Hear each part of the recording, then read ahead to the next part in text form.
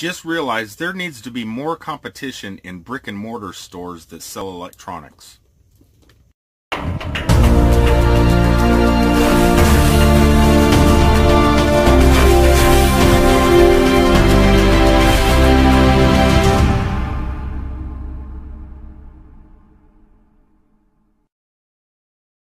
Welcome everybody to another Glass Geek daily travel vlog. That's I still need to say it more and more. Glass Geek Daily Travels. So what is going on, people? Um, I'm an impulse buyer. So sometimes I'm driving down the road for quite a ways and not exactly knowing uh, where I'm going to stop throughout the day. Sometimes I just stop at a rest area. Sometimes I find a hiking trail. Sometimes I find a roadside attraction. Sometimes I find electronic stores because I'm an impulse buyer, I have I have to stop at an electronics store periodically. And today was no different. Something broke on me that I've been using for about a year and a half that I purchased off of Amazon for $5.99. Something that has been a necessity out here on the road. That being a little Miracast.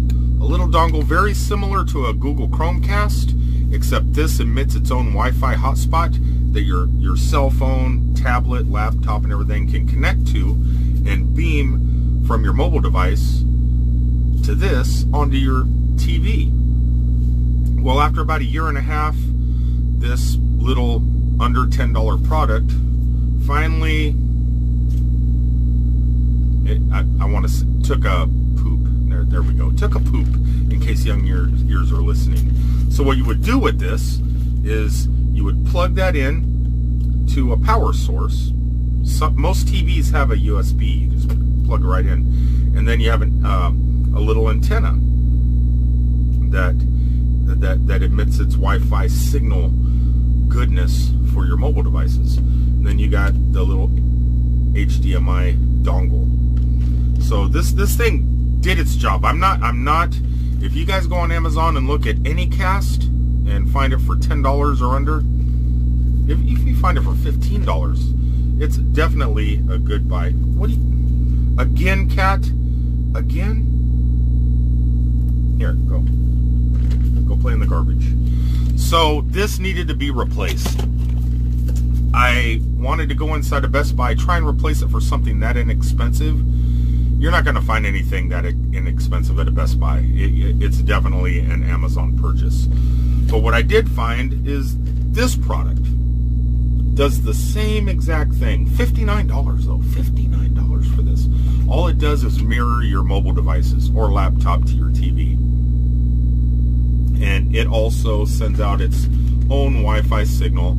So it, it, it looks bigger the picture. I mean, the TV looks small compared to that. The actual product itself, let me um, do all the unplugging here because I, I, do got it plugged in. It, it's only that big.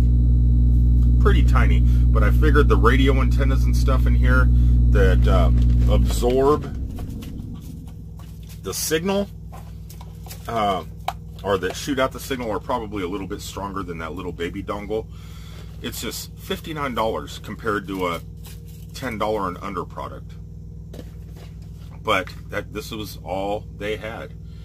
And uh, right when I was in the parking lot, I wanted to make sure it worked like that. I plugged it into the TV, turned on my cell phone, boom, my cell phone was on the TV. Netflix, here I come. Now, I couldn't go out of the store with just getting something that I actually needed. I needed to also get something I did not need. I, I really didn't need this. But I was curious. So, you can see I'm lit here. I have a light here. I'd like to have a light up there coming down on me also. For just the in-truck stuff or in the RV stuff. When I'm outside, I, I really don't need lights. And most of my videos are done outside. But I went ahead and got myself, you look at that? Look at that crazy thing. That should be actually pretty amazing to use as I'm getting net neutrality news on my mobile devices over there. Um, yeah, it comes with like uh, shaders and stuff like that. pretty nice light. This one here goes up, uh,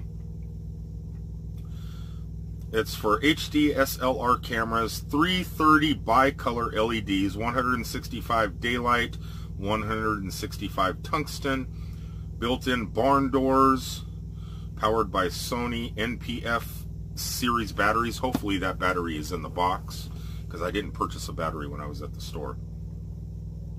Has 330 high-powered bi-colored LEDs, totally adjustable, 2,400 lux at 3 feet, color temp 56,000 to 32,000 with a one-year warranty. So I'm probably going to do an unboxing video on this and uh, connect it to a tripod or maybe connect it to my bigger camera because I, I, really don't need it with this.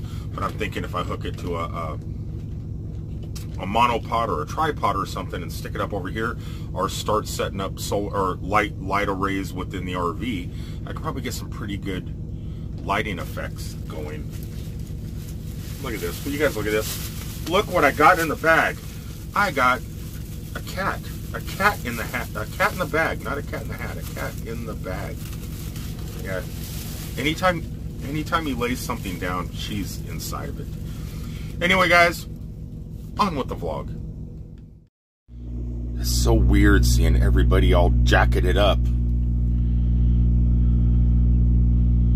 While my jacket sits down in Florida. yeah, I did not think winter was coming so fast. I have a hoodie. I did bring a hoodie with me, but no jacket. I didn't think it was going to get this cold this fast. It's like 11 o'clock in the morning and just in the high 40s this is crazy. Just a couple days ago in Orlando, it was like 97 degrees at 3 o'clock in the morning. Difference a change in latitude makes. Well, due to inclement weather, I, am not kidding, guys. Temperature has dropped at least 8 degrees, and I'm thinking it might snow today. I might see my first snow of the season up here in Minnesota.